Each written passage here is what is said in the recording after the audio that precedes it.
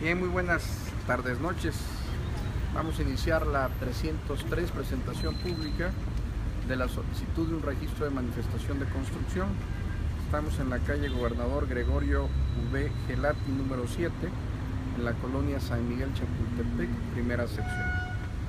Hay una solicitud de ampliación de 148.33 metros cuadrados, una modificación de 91.37 metros cuadrados, una manifestación tipo B, habitacional, tres niveles, tres viviendas, seis cajones de estacionamiento.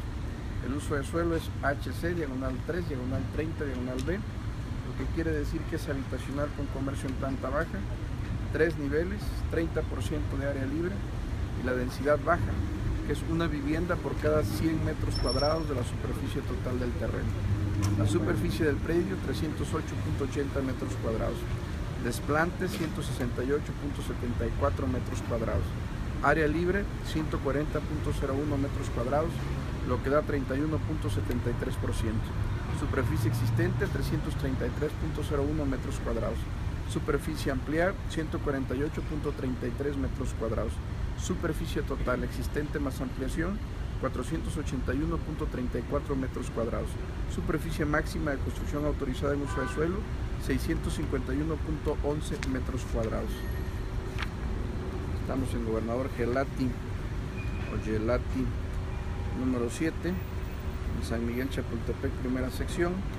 Tengo a la vista la expedición de la constancia de alineamiento y número oficial del 16 de agosto del 2016, en donde se señala que no es zona histórica, no existe afectación, sí es zona patrimonial y sí tiene restricciones.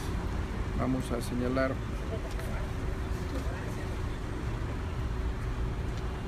la constancia para que pueda ser consultada por quien lo requiera y vamos a mostrar el certificado único de zonificación de uso de suelo digital de fecha 11 de agosto del 2016 sí. donde se señala que la zonificación es HC diagonal 3 diagonal 30 diagonal B la cual mostramos el anverso, en el reverso, tiene más anotaciones.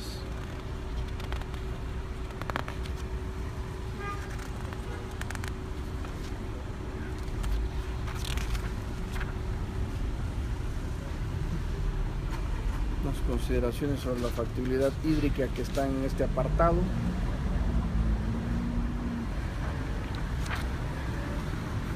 siempre los usos de suelo digital son más prolijos, ¿no? Hay más cosas, ¿no? Bien, este, pregunto a la coordinación de concertación si se convocó al Comité Ciudadano. Así es, se convocó al Comité Ciudadano de San Miguel Chapultepec, primera sección. Clave de código del IEDF es 16094. Fueron convocados cada uno de sus miembros y todavía no tenemos el gusto de tenerlos aquí. Entonces, los integrantes del Comité Ciudadano de esa unidad territorial fueron convocados previamente en tiempo y forma, sin embargo no asiste ninguno. ¿Fueron convocados los colindantes? Sí, nada más tenemos aquí a la tienda, es, es el Sanborns de San Miguel. Todos fueron convocados. Y este, no se ha presentado nadie, ni de algún comercio, ni de ningún establecimiento, ni vecino alguno.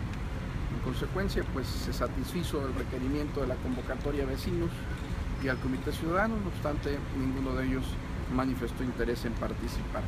Bien, por eso se hace la sesión pública, le vamos a dar el uso de la palabra al desarrollador para que nos comente qué va a hacer, primero su nombre, el cargo y luego nos detalla, nos describe el proyecto, por favor. Ok, mi nombre es José Luis Cruz Vázquez, soy el desarrollador del proyecto aquí en Gelati, número 7. Uh, bueno, le comento lo que se trataría del proyecto. Nosotros estamos contemplando, como se puede apreciar, consta de dos niveles estamos contemplando un tercer nivel, el cual no afectaría la esencia del edificio, estaría dentro de los parámetros reglamentados, establecidos. Y no sé, este, cada contaría de un departamento por nivel, serían tres niveles. No sé qué más podría explicarles, como ya lo son los metros cuadrados de construcción son los niveles, los niveles y los metros cuadrados este, permitidos. En la fachada no va a haber ninguna modificación más, solamente va a haber una, o sea, se va a quitar lo que es la pintura roja, se va a quitar todo lo que es este, pues, pintura que han hecho las personas entonces se va a restablecer toda esa parte y se va a resanar. O sea, en realidad no hay ninguna modificación en la fachada, solamente se hacen resanes y lo que es este para que se conserve totalmente, porque esa modificación está dentro de los parámetros. Entonces eso queda totalmente igual. Muy bien. ¿Algo más que deseen agregar?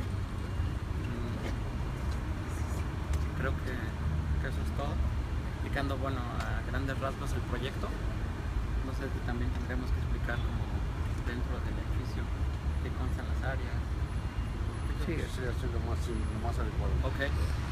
Por nivel nosotros contamos con, eh, con dos bueno, con tres habitaciones por nivel, una cocina, una sala y una estancia.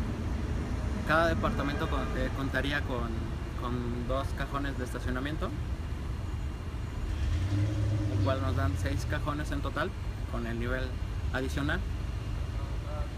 Mm,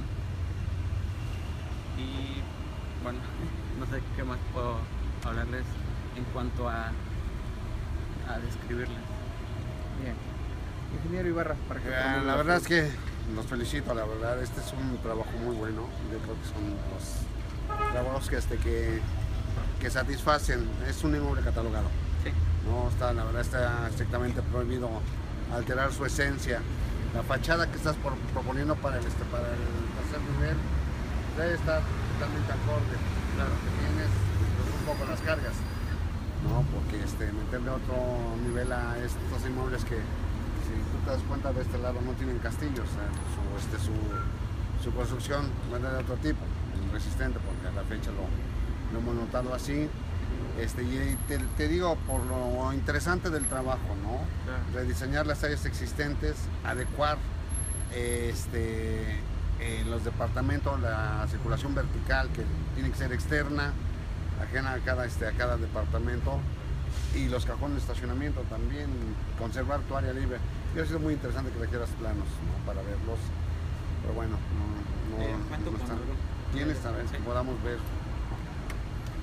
Está comentando aquí la coordinadora de ventanilla única que no cuentas con antecedentes, porque yo creo que esta construcción debe ser de principios del siglo pasado. sí, tiene más de 100 ¿no? años. Sí, sí, sí, la verdad sí, ¿no? Se ven los muros de 60, 70 centímetros de ancho. Entonces se ve entonces este, el levantamiento pues fue interesante y la adecuación. pero no. En cuanto al uso de suelo, pues no se viola.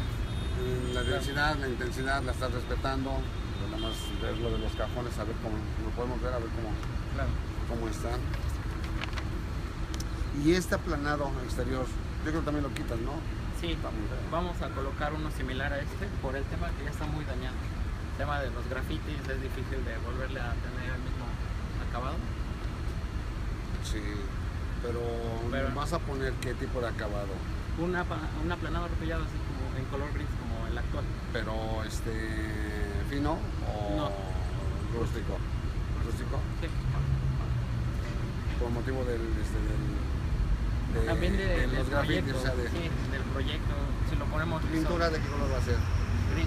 Estamos contemplando gris, mantener el monocromo.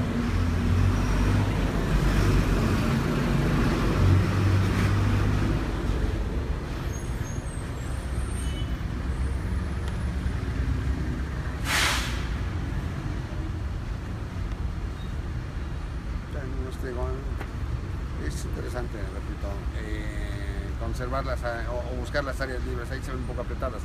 Sí. Pero en su momento les vamos a, a revisar, pero digo, si los lograste, la verdad Sí, felicidades. nos eh. fuimos con las medidas mínimas para los cajones de estacionamiento. Sí, ya lo-. Sí, también el acomodo mejor con lo mínimo. Pues cumple con la densidad, la intensidad la está respetando.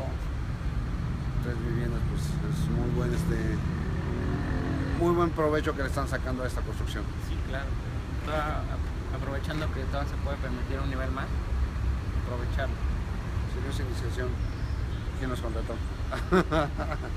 O sea, los propietarios son de aquí de San Miguel.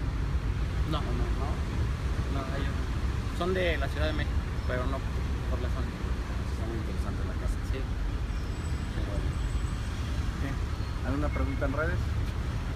¿No? ¿Alguna pregunta adicional, ingeniero? No, mi parte no. La coordinadora de ventanilla única, adelante. por favor. Gracias. Nosotros previamente hicimos una revisión documental y cumplen con todos los requisitos que marca la norma. Por lo tanto, no tenemos inconveniente en otorgar la manifestación de construcción.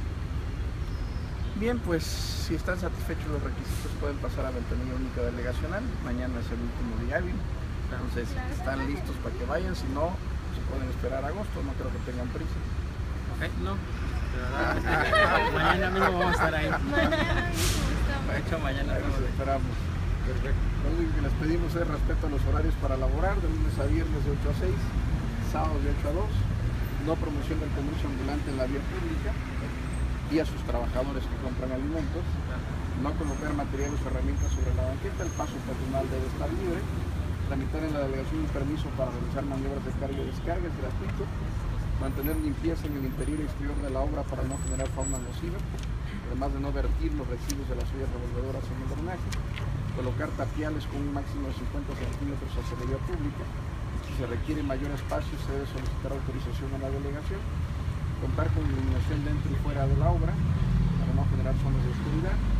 Exhibir su letrero del registro de manifestación de construcción.